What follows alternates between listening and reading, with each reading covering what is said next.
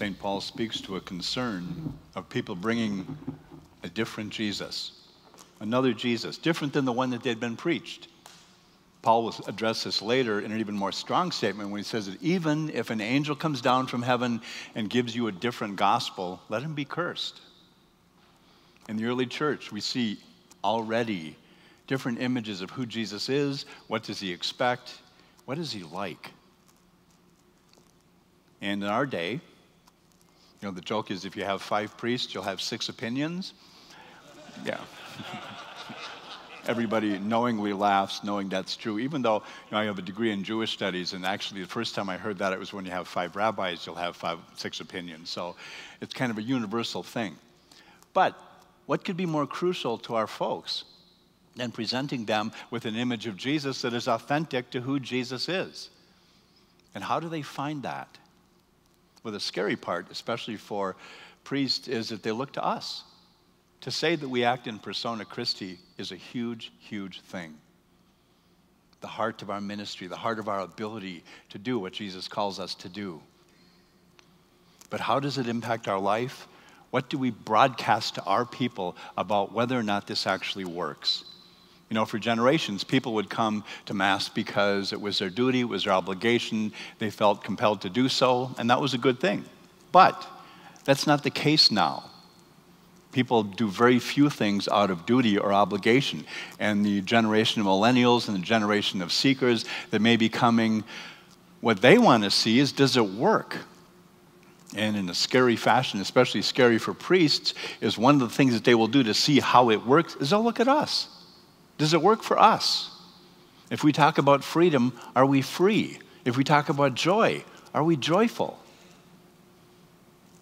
I was watching a TV show and there was a televangelist and he goes to the mic and he says, If you give your life to Jesus, you will be as joyful as I am. The odd thing was that he meant it. Joy was some kind of esoteric, no relationship to here and now reality. If I was at a revival meeting like that and the guy went up and said that, I would run for the door. And lots of people these days are running for the door. But why? Pope Benedict, when he was writing as Cardinal Ratzinger, had a very interesting statement. He said he believed that the number one reason why people leave the church was not scandals, was not humanae vitae, was not you know, any of the other things to which is typically attributed. He said the number one reason why people leave the church is they experience it as joyless. And he said that's particularly interesting because the command to rejoice was the way that things began. Gabriel to Mary, rejoice, rejoice. So, how do we do that? Well, one of the great gifts of this unbound ministry that we've been looking at is it brings us to a place where we can, broken and you know, living in a broken world, where we can come into a place of greater freedom. We can experience more. We can be freer. You know, someplace, sometimes we come from positions of significantly less freedom. Ethnically, I'm Scottish, English, Norwegian, and Swedish. And if there was ever a combination for a lockdown emotional state, that's it. Did you hear about the Norwegian who loved his wife so much he almost told her? yeah. yeah. Welcome to my life, don't you know? So there was a certain amount of lack of freedom in that. Both my parents were alcoholics. Growing up was a disaster, was a nightmare.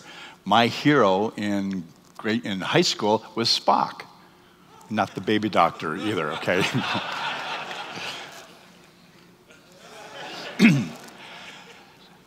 Why? Because he never felt anything. He couldn't be touched. He was perfectly invulnerable. And that was my hero when I finally met Jesus my senior year in high school and I got spirit filled and I became Catholic, things began to change. And when he called me to the priesthood not long after that, I was excited and delighted and was absolutely convinced and pleaded with him all the time to send me to some monastic environment in which it was just Jesus and me. I, I, I wrote the Carthusians, I visited the Trappists, I, I called the Camaldolese. I was looking for a monastic environment in which it was just me and Jesus because I was afraid of doing anything in public. I was afraid of dealing with people. And there was so many wounds and so much lack of freedom in my life, I thought I would just be a disaster anyway. And but Jesus began to bring into my life opportunities to experience greater freedom. You know, 12 step work for adult children of alcoholics, counseling, things like you know, inner healing and deliverance ministries, Unbound eventually. These were all great gifts. It moved more and more to set me free. But it was always a combination of kind of healing what was damaged in me, you know, the wondrous idea that grace builds on nature. Unbound is about restoring that nature but then there's all sorts of grace that Jesus wants to pour out on us to set us free, to bring us to a place of greater freedom, to a place of greater joy. And one of the things I experienced when I was a freshman at the in the seminary, I had a friend who called me up and he said, Could you come up to Duluth? I was in Minneapolis at the time. Could you come up to Duluth and give a talk on your conversion story to a group? And I said, Well, how big is the group? And he said, There's 10 or 15 people. I, said, I couldn't possibly do that because you know I took a speech class my senior year in high school to break me of the fear of speaking in public. I would be sick for four days before a speech. I would almost throw up all the way through my speech, and by the time it was over, I was a wreck for the next day, and didn't exactly work. And so here's this idea that I was going to go up and speak to this group of 15 people, and that just filled me with terror. All the way from Duluth to Minneapolis, I'm driving along and I'm praying for blizzards. I'm praying that, you know, Bambi would come up out of nowhere and smack into my car. Something would happen to stop this, you know, because it was like all these people are on the other side of this trip, and I'm just literally terrified of the idea. Well, to distract myself as I'm getting into town, I turn on the radio, and it turns out there's this group that's rented the largest auditorium in Duluth, and they're doing these kind of renewal revival meetings. People can come and experience Jesus. This was like in 1972. A lot of those meetings were taking place. And when I get to the guy's house where I'm supposed to address this group, I say, I got a better idea let's go to this other group because that'd be so much better than what I can do. And he says to me, Oh, Ed, I'm so glad you feel that way because we decided to do that. I was like, Yes, there is a God, you know. so we go to this auditorium, and the leader comes up to me and he says, you know, Oh, there's a guy I want you to meet. And so he brings me up, and I'm just kind of chatting with this guy. And the guy turns to me and he says, I hear you have an interesting testimony. You're on and the curtain opens, and I'm standing in front of like 8,000 people. Have you ever been unconscious, but the only reason why you didn't fall is your body couldn't figure out which direction to go in? well, I was standing there terrified. And as the curtain is moving, the guy's kind of backing up with, You'll be fine, you'll be fine, go ahead, you'll be fine. and then he said something to me that changed my life. He said, just ask Jesus to share with you how much he loves them. And he did. And that was the last time I was ever afraid of being in public because he was greater, his power was there.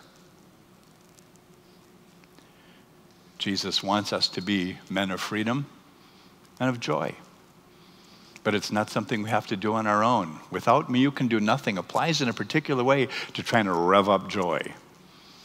Our joy comes because of our relationship with the King of Kings. But the, the idea of our identity is crucial because a lot of times, if, I bet if we ask people to fill in the blank, I am a, how many people would have just simply said, I'm a priest or I'm a deacon? Because what we don't immediately move to is I'm a son or a daughter. I'm a son first. I'm loved by the Father and the Son and the Holy Spirit. That's who I am. That's my primary identity. And everything that I do flows from that. Reestablishing our sonship so that we know who we are is absolutely crucial if we're going to minister. Because our priesthood, in a sense, rests on that foundation. If we know Abba, if we are in love with Him. If we have experienced freedom and healing, if we can look into the mirror and honestly love the person looking back at us, then we know we're moving in the direction of freedom and restoration that He has for us. And the good news is, if we're not there yet, we can get there. As has been emphasized several times this week, it's a process. But it's a process that brings us closer and closer and closer to that full identity, that full realization of the destiny that we have so that when we stand up in front of the people of God, we can show them, yes, it actually works. Jesus is setting me free. Jesus is bringing me greater joy. Jesus is bringing me greater peace. Jesus is unleashing the power of the Holy Spirit so that his bride can look like he's always wanted his bride to look radiant with his love, filled with joy, and filled with hope in the midst of a collapsing world. The bride is meant to be the source of hope because the king is in her heart. So as we gather, as we plead with Jesus to continue to change us, we recognize that's exactly what he wants to do. It's what he has planned for us from the beginning. That we experience his freedom, we experience his joy, we experience his love, so that we can share this wondrous gift of who he is with the people that he sends us to. Let us open our hearts and plead with him for more.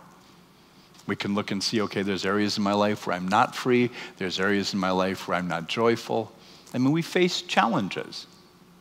I had to go tell a priest friend of mine that I've known for years that because of a credible accusation, his priesthood was over. Lots of hard things can be present in our life. But you know, when Paul goes through that whole list of here's all the hard things he's experienced, he makes the point of saying that none of that can come between us and the love of God, made visible in Jesus. Do we spend the time we need with the King to bring us to that place where we are simply walking with Him and then we can handle everything else? Do we open ourselves to the power of the Holy Spirit that we were given so that Pentecost can be more alive in us? As we heard earlier, the idea, you know, that confession is kind of the great unrealized sacrament in the church. Well, I would say that confirmation is running a close second. How many of our folks is confirmation the sacrament of exit? Thanks for the confirmation. You know, there was a, a priest and a rabbi and a minister got together and they were all having the same difficulty that there were bats present in their, in their worship spaces. And then a couple weeks later, the priest says to them, Well, I got rid of the bats. And he said, What did you do? I confirmed them and they were never seen again. Not supposed to be the Catechism of the Catholic Church describes confirmation as being that which unleashes Pentecost in the life of the faithful. Well, Pentecost changed lives, filled people with love and joy and peace, and sent them on mission. We've been confirmed. A prayer that we can pray is Jesus, unleash, unlock, restore. Let the graces of my confirmation be present that I would walk in Pentecost that that freedom especially, the freedom to delight in his presence, would be ours as well. So as the King himself is here, as we're about to receive him, you know, the Eucharist is still the primary healing sacrament of the church. One of the things that was really helpful for me when I noticed how many ways in which my heart has been damaged is a spiritual director told me once, as you come up to receive communion, simply say to Jesus, as I receive your heart, restore mine. And the Eucharistic Lord moves. And little by little, our hearts become healed, our hearts become more like His. So let us prepare our hearts. The King is coming to us with the greatest gift of all, Himself.